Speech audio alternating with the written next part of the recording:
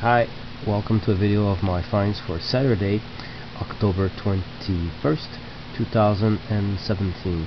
I went to an estate sale not early enough because I got uh, I was second in line for a sale that started at 9. It was an estate sale and I got there at 6:15 a.m. and some guy arrived at 5:30. So we got all the the rare cool stuff uh, that was shown in the pictures on Kijiji. So knowing I would not get the rare stuff, I focused on one record that I really needed to get in my mind. I said, if I get that one record, screw the other ones. I know he'll pick all of the other ones. And uh, I'll show at the end of the video the the one big score of the day which is the, the first record I picked so we'll finish with that one.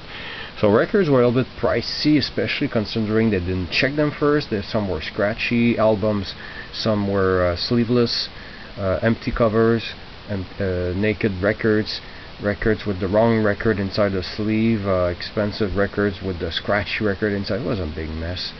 Uh, so uh, the 45s there were two boxes. I would have taken a whole stack about uh, I don't know 10 inch high stack of 45s had they been like 50 cents but they were a dollar each so we'll start with the one dollar 45s I only took nine.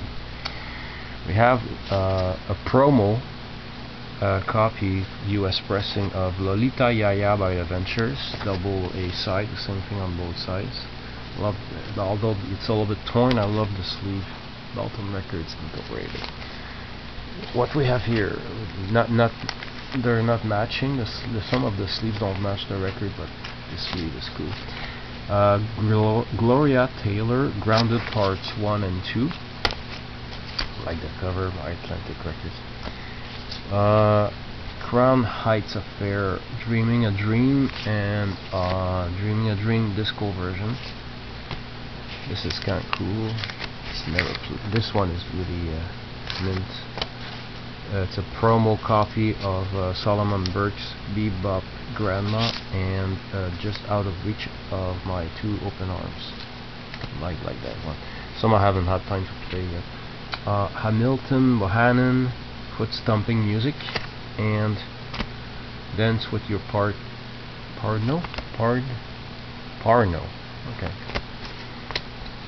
This I got. Uh, yeah on Minit Records, US Pressing, Mother-in-Law by Ernie K-Doe, B-side, Wanted, $10,000 reward.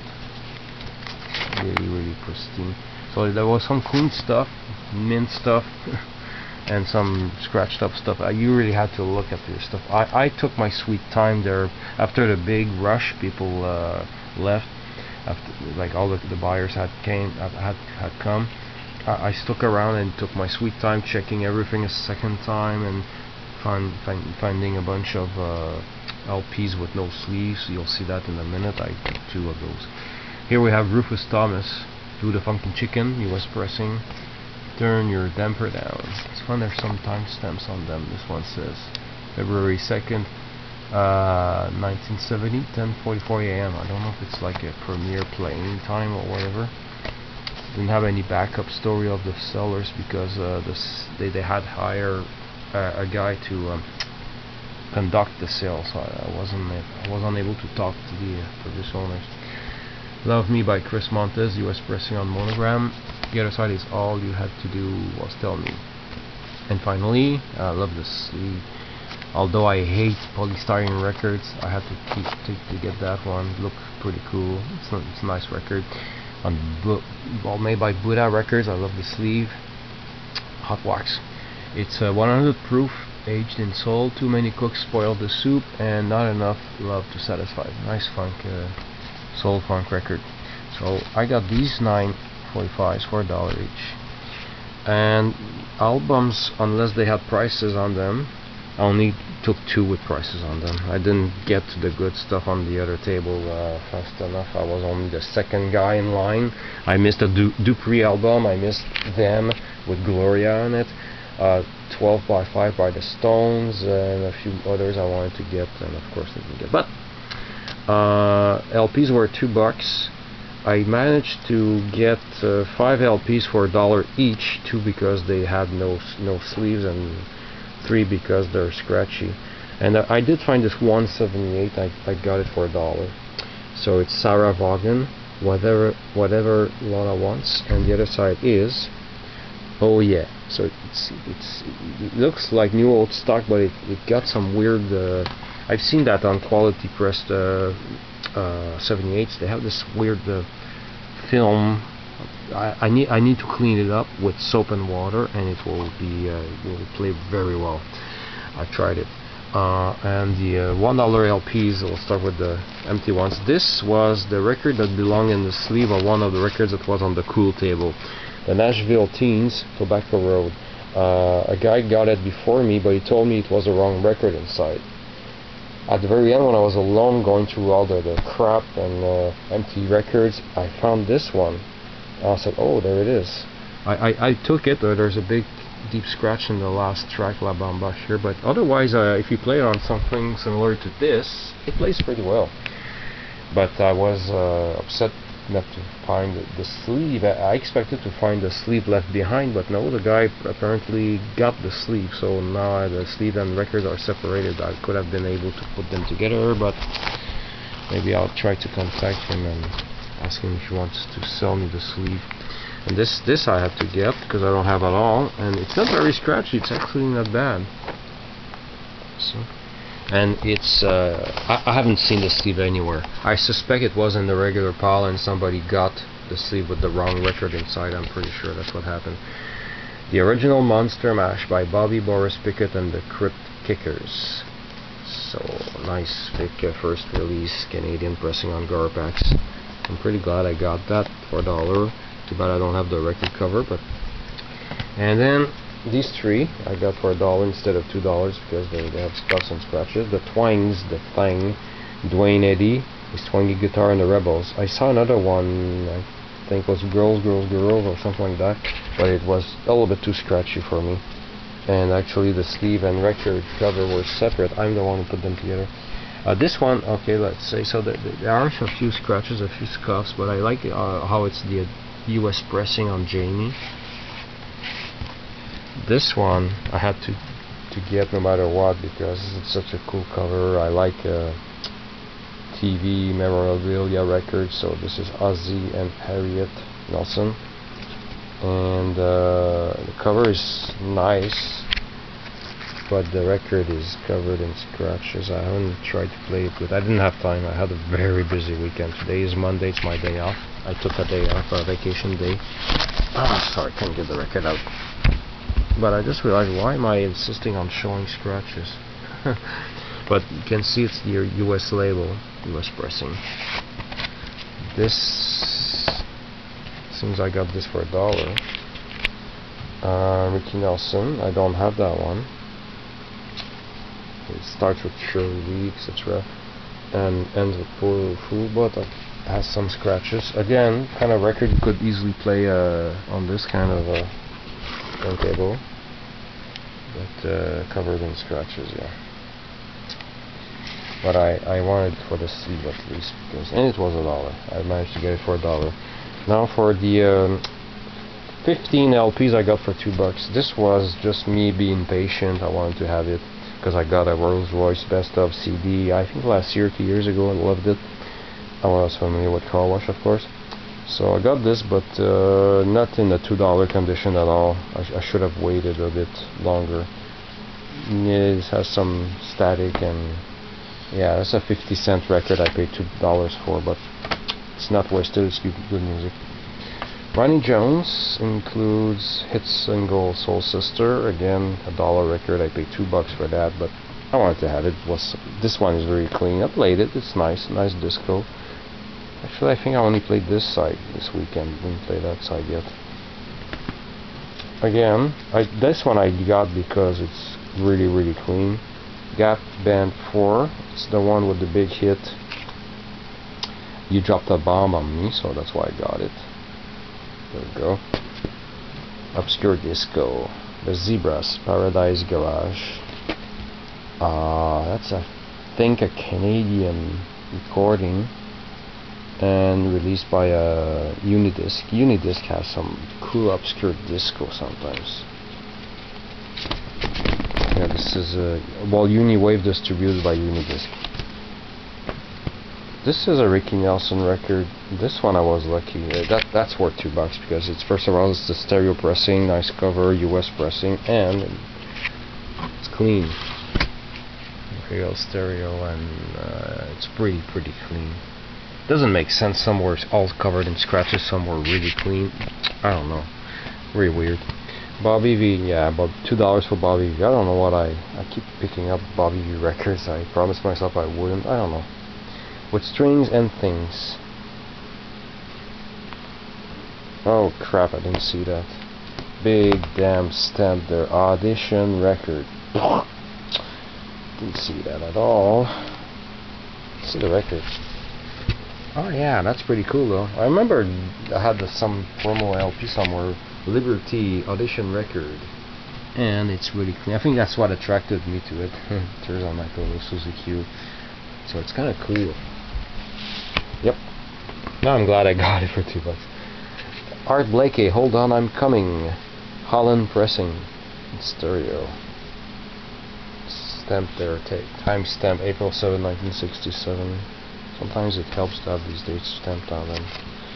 And beautiful Holland vinyl. I'm not going to show all the records one by one, just just those ones. This I got because not for the content, but the context and the sleeve. Music from This Is Your Life, Ralph Edwards. So most of you are familiar with this TV show. Even Bugs Bunny went on that show in one Bugs Bunny short. There's a spoof of that show. So that's kind of cool. And this one is clean. This is on the Imperial label, but it's I won't pull it out. Lesley Gore, almost didn't take it because it's mono. This one I would have preferred in stereo. All About Love, and it's in great shape. Again, a promo copy. Ah, there's a stamp here. January 13, 1966. Weird disco, Italo disco. Actually, this is a, a, an Italian recording because it's Baby Records, but distributed by Uniwave Records Limited. Downstairs Records. So, oh, hence. I like the the uh, the cover is really kitschy. Just notice the girls uh, have boobs and the inside. Yeah, it makes me laugh. But I I just like this disco, so I'll put this back later. This I have to get even if I have already. It's a 12-inch sealed, 12-inch maxi single of. Uh, uh, André Gagnon Rendezvous and Smash. Smash is a non-LP track and this is the 12 inch uh, version, 7 minutes and 13 seconds and it's sealed so I had to get it. Ça c'est québécois ici, le Canadien Salomon Plourde volume 2. Il n'y a presque pas de disques québécois dans tout le lot. Mais quand j'ai vu les titres, allons à l'expo, tatoué le sage, en Way Daniel en l'an 2000, en avant les Québécois de la visite de Montréal, un Québécois. Écoute, écoute, là, j'ai hâte d'écouter ça. Le disque est super beau, je le sortirai pas. This is. Uh, I got it only because, holy crap, it's sealed. It's wow, it's sealed. So it's uh, Ravi Shankar uh, at the Montreal International Pop Festival. This album contains free full color Ravi Shankar poster. And it's still sealed, no deletion hold, no nothing just just a cool item I couldn't leave it there I almost didn't but then I got this I've been looking for this album but this is the uh, how, how can I explain the RCA and Mercury Wing did that for a while re-releasing cheaper uh, versions of uh, previous albums by removing a few tracks. So the cover indicates 10 songs when there should be 12 I've been looking for the 12 version for a while. But um, many years ago I went to a man who had like a long row of LPs for sale maybe from uh, I don't know a pile uh, two three four because I'm holding camera I can't show, show with my arms but let's say yeah from let's say from there to there at least and only one record I wanted to have and it was the other version of uh, Patti Page the Waltz Queen and the cover was empty and he told me oh I gave a stereo away and there was a record on it, it was that one. what are the odds? So he gave me the empty cover. Now I can match the record because turns out that the record inside is the 12 track version. For great shape too. So that's that's really cool. And I got this. This was on the special table, and uh, there was no price, a little white sticker on it, so I got it for two bucks. So it's the the 12-inch single of the Clash, "Rock the Casbah," a great song that I discovered only this year. And I, I actually have my radar uh, scanning, uh, keeping my eyes open for the uh, Combat Rock album, uh, which CBC Radio 2 played on the radio on a Friday um, coming back from work, and I, I heard it and I kept going, wow, I know what a great song. Every song was good. And uh, that's the first song I heard, and it was so good. And um, uh, because I think it was the 35th anniversary of this album this year, so CBC Radio 2 made me discover this album, and I found the, the 12 inch. Oddly enough, Rock the Casbah on the A side is just 3 minutes and something long. It's not a long remix version, but I, there is a remix version on YouTube, so I'm confused a bit. But the B side is a semi uh, instrumental version. Mustapha Dance is actually the same track, so that's a non-LP track. I'm pretty, pretty glad I got this for two bucks. And uh, when I played it in the kitchen this weekend, I actually flipping a record over, I dropped it on the kitchen floor, but it fell flat, and I went. and I stopped moving for three seconds, and then I bent over to pick up the record. I looked at it, no scratches. I went, that was close. Just a little bit of dust. And uh, so I got those for two dollars. There was one marked three dollars. Almost a guilty pleasure at this point.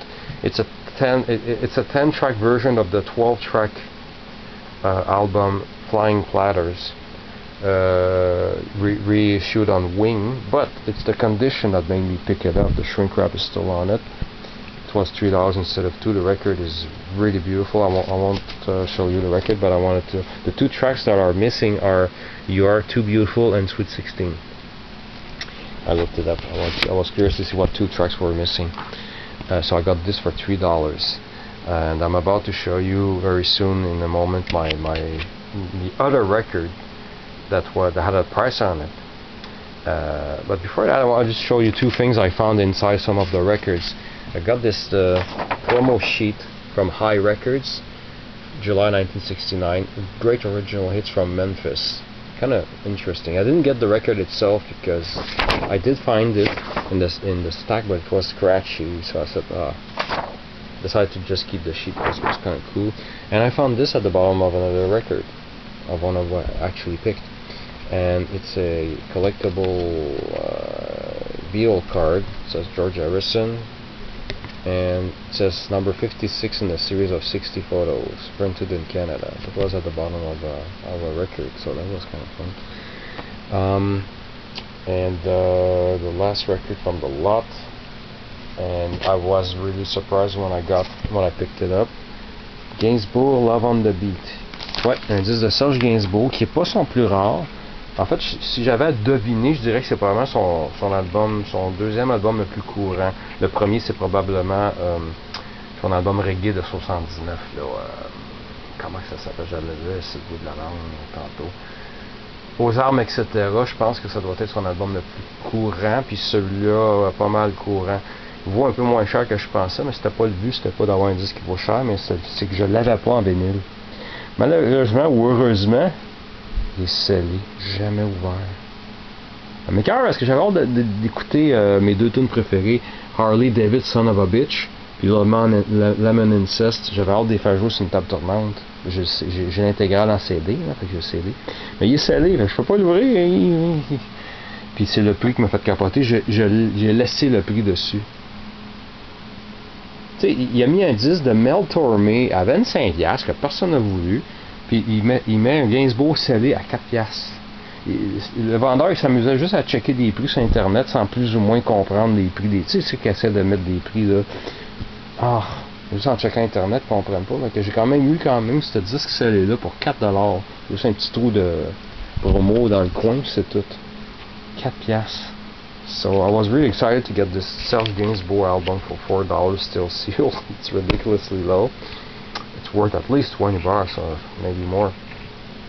And uh, the guy priced the records so so, and um, 25 dollars. He was asking 25 dollars for a Mel Tormé record. Nobody picked it. I don't know the prices of the other records. I, I think somebody said that there was a the Led Zeppelin uh, there was a Led Zeppelin album for 12 bucks but it was covered in scratches so yeah. and so all this uh, if you add it up yourself it adds up to 52 rounded up to $50 paid $50 then the guy found something else uh, that he had put aside and he showed me this empty cover of the Rolling Stones now. Now I'm I, I was trying to remember do I already have the, the empty cover with no record? Or do I have the record with no cover? And, and I couldn't remember so I gave him a dollar for this this, this clean cover of the Rolling Stones uh, now. But I can't find out right away because my inventory in my computer is not up to date. And uh, and um, the more I think about it I think I already have the cover with no the, the cover with no record but I'll find out when uh, eventually I sort out my junk downstairs. So that that one good deal of the the weekend was this one. So I, I, despite all the records I missed out I'm really glad I picked up my Serge Gainsbourg record here. Thank you for watching